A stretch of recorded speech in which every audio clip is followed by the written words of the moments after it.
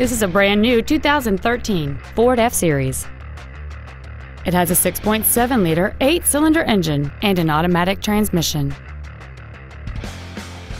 Its top features and packages include an off-road package, skid plates, traction control and stability control systems, and hill descent control. The following features are also included a low tire pressure indicator, front and rear reading lights, side curtain airbags, a trailer hitch receiver, an engine immobilizer theft deterrent system, an anti-lock braking system, door reinforcement beams, and power steering. Stop by today and test drive this vehicle for yourself.